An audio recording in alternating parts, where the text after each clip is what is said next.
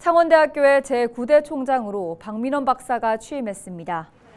30일 열린 취임식에서 박 총장은 글로컬 대학 사업에 본지정될 수 있도록 대학이 가지고 있는 모든 역량을 쏟아낼 것이라며 지역 우수인재 유입에도 최선을 다하겠다고 강조했습니다.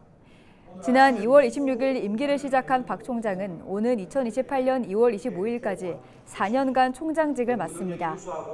박 총장은 창원 경상고와 창원대를 졸업하고 일본 오사카 대학에서 전기공학 박사 학위를 취득했습니다.